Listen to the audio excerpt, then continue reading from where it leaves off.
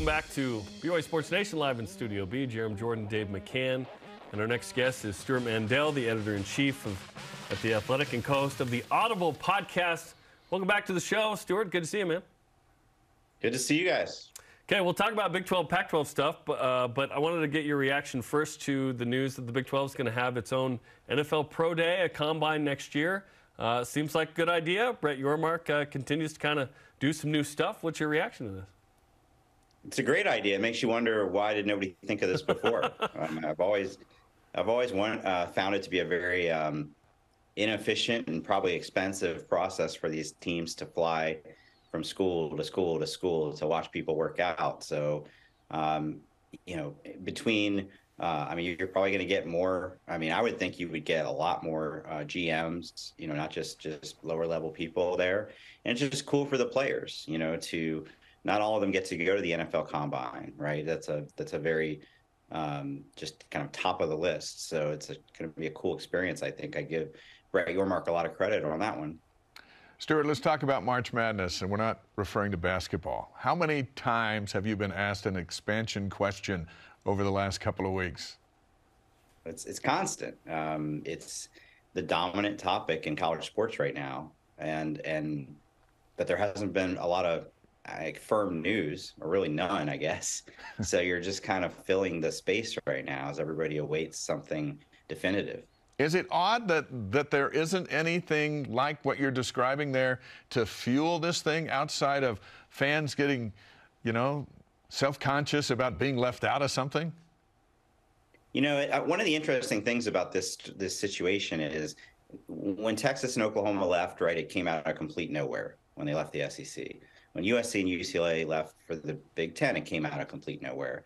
Generally, realignment happens in a very stealth um, secretive manner.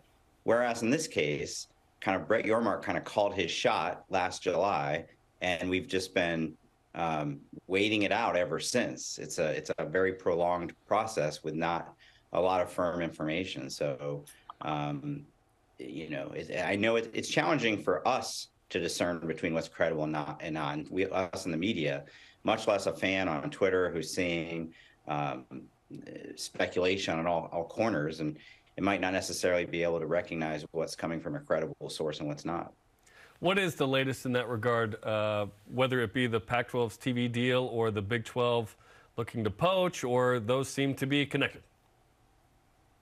Oh, they're 100% connected. Uh, you know, uh, Brett Yormark has not been shy about stating the conferences, the Big 12's desire to get into the Pacific time zone, to get into that fourth time zone. We know which four schools he's talking about. Um, but those four schools are waiting to see what the final um, deal looks like. And uh, the Pac 12 TV deal has dragged on and on, and the negotiations have dragged on and on, and, and much to the frustration of, of everybody involved. But I do think we're nearing the finish line. The Pac 12 presidents are meeting again. They met uh, during the basketball tournament in Vegas. They're meeting again next week. The expectation, nothing's firm, but the expectation is that they're going to be uh, receiving from George Kliavkoff the details of either a proposal or maybe there's multiple proposals. I don't know. And at that point, they would need to approve it. If they don't, then that opens the door to the possibility that schools might leave. Arizona State's president this morning uh, out in the media being quoted as saying that, that, that you're right, they're going to get this deal. He thinks it's going to be enough and that everyone's being uh, held together and that, that really no one's going to bolt. Is that just posturing or do you think there's something to that?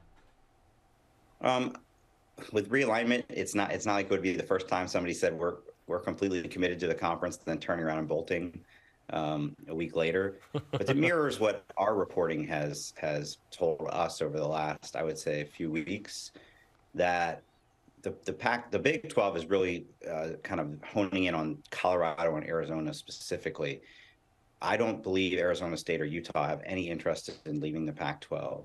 Now, if it were a disastrous TV deal, that might change the equation. Uh, but there's no, there's no, that wouldn't make sense, you know, in the marketplace. It's not like the, the TV value between the Big 12 and the Pac-12 is is decidedly better for the Big 12. You know, I think the realistic scenario here is that whatever number they get is going to be around the Big 12s, right? Maybe a little less, maybe a little more. And schools that want to be in the Pac 12, there's not a lot of motivation to leave for just that. The equation might be a little different for Colorado and Arizona, in particular, Arizona. I think they're, um, you know, that, that would be a basketball play for the Big 12. And of the four, my sense is Arizona is the only one where a good chunk of the fan base wants them to move because they're basketball fans. And there's no question the Big 12 will be a better basketball conference than um, the Pac 12 without UCLA. Is the Colorado move just because they used to be in the league? Because uh, generally speaking, right now, not not uh, breaking the bank with contributions across the board, but certainly Deion's interesting. But that he could be somewhere else in a couple years. Yeah, that's the thing. Um, Colorado has been the worst program in the Pac-12 since they joined, and it doesn't. You know, if you were looking at that, it's like why of that of all programs would the Big 12 be thirsting after? I think it's Deion. Uh, uh it fits. Um, it, you know, Brett Yormark has right another initiative, another philosophy. Is he wants to make the Big 12 the cool conference. Deion's cool. Um, and Deion, by the way, is basically the de facto AD at Colorado. Now, if he wants to be in the Big 12, he'll be in the Big 12. But like you said, and I've been emphasizing that to other people as well, what assurance do you have that he will be the coach of Colorado when that new deal begins in 2025? I don't think it would be wise on either side to make a such a significant decision of, of conference membership and locking yourself into a long-term deal over a football coach. Football coaches come and go. Or is it uh, if we get one, perhaps we can crumble the league a little bit? I, you know, perhaps the Pac-12 could could lose two, but then add two and maintain Power Five status in theory. There's there's some notion that if they were to get Colorado and Arizona, that the other two would feel compelled to follow. And of course, the big the big targets are Oregon and Washington, right?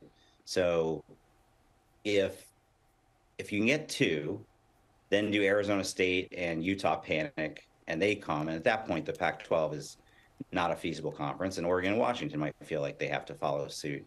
Um, I think Oregon and Washington, I don't think it's any secret, are holding out hope for a Big Ten invite.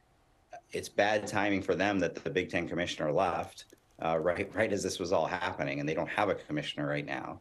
So, you know, I think in the coming weeks we'll we'll get a clearer sense of this.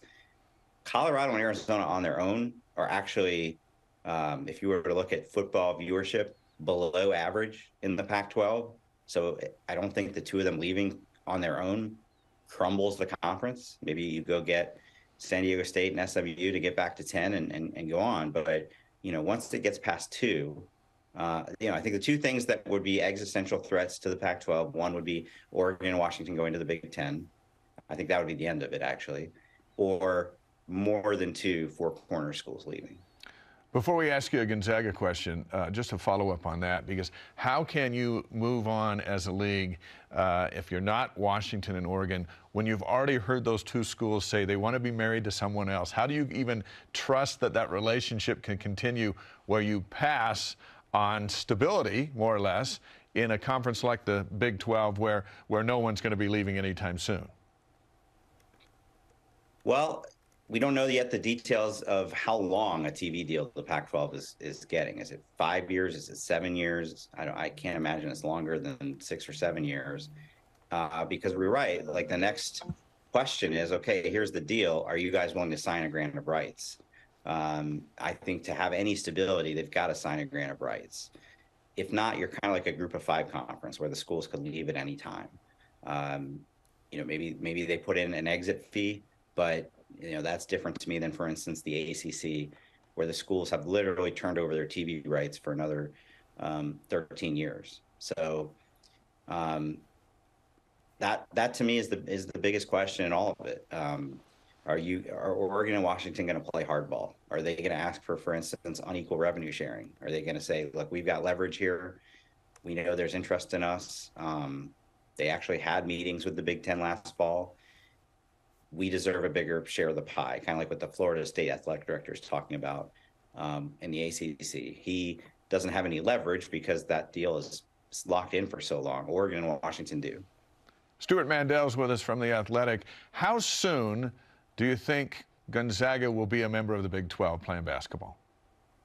A few weeks.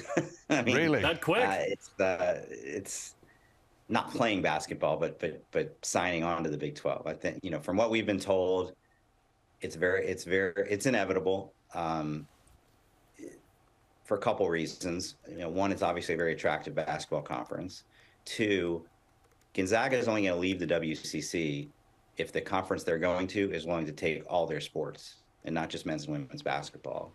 And the Big 12, from what we have been told, has given them that assurance. I don't know that the Pac 12, I mean, the Pac 12 is just not far enough along to be able to, to make any sort of assurances to Gonzaga. So we think Brett Yormark is obviously priority number one is those Pac 12 schools you know, waiting to see what happens there. But I don't, whatever happens there, I still think they want Gonzaga. Brett Yormark is, is uh, positioning the Big 12 as the top basketball conference, right? Um, he, feels like that's a way to, you know, you're not going to be the Big Ten and SEC, but how do you distinguish yourself in some fashion? Uh, basketball. Basketball is not does not drive the money that football does, but it's not insignificant either. And if you were to get Gonzaga to go with Kansas, Baylor, those are the last two national champions. Houston is coming in. They're the number one seed in the NCAA tournament right now. Um, that's the best basketball conference. And if you can add Arizona too, my goodness, that's now you're like the SEC of basketball. I know that Gonzaga's been told to be ready for whenever that goes down. Um, so that kind of uh, confirms that as well, which is interesting. Regarding basketball, Brett Yormark has said he wants to, he think it can be more lucrative. He did some entertainment things around the Big 12 championships uh, last week with Shaq showing up as a, as a DJ and foods and halftime performances that are a little more interesting. What, what role does basketball have in this conversation, as you mentioned, where okay, now now you become the SEC in that regard, um, and you still want obviously to continue to. You're essentially playing for third in football, but what role could basketball have in all of this if you add Gonzaga, Arizona, and whatnot? So obviously, his background is he worked at the Brooklyn Nets for a long time. He's a basketball guy, um, and he has said on the record he thinks it's undervalued. Uh, and and I think so. I think the long term strategy is okay. They already did their deal for for this one. But come 2030, separating them out, right? You sell football in one package, you sell basketball in another. Is that going to pay off? I have no idea. Um, basketball in general is about 20% of a, of a conference's TV value, maybe a little bit more in some, maybe a little bit less in others. It's not going to, you know, um, get you to the Big Ten and SEC level, but it could get you closer certainly that's something they have that the Pac 12 doesn't. I mean, Pac 12 basketball, I joke sometimes, might as well be taking place on, on Jupiter because all the games are almost all the games are on Pac 12 network. Um, the championship game the other day was at 10:30 p.m. Eastern. There are good teams in that conference, and it gets no exposure. So um, if that if it, it is kind of right now, it's kind of a race to be in third, right? To be the clear, you know, third most powerful conference. That's probably the most um, the biggest draw they have that the, the Pac-12 does not. Getting on the uh, you know medal stand is always always good. Uh, so the Big 12 plan for that. Stewart, we appreciate the time. We uh, recommend everyone check out your stuff on the Athletic and the Audible podcast. Thanks for joining us. Thanks for having me. Stewart Mandel. Interesting about Gonzaga. Perhaps a couple, couple of weeks, weeks, away. That's what jumped off the, the page on that interview. A couple of weeks, maybe. Yeah, and, and again, I'll mention it. Uh, I was told that uh, you know Gonzaga is on standby for when that could happen. Um, so that could be interesting. We thought we kind of parted ways with the Zags. Perhaps not. Maybe not. According to Stewart Mandel. I was stunned that he offended all the basketball fans on Jupiter, just like in one they sentence. are. T- that's where they held Space Jam. Uh,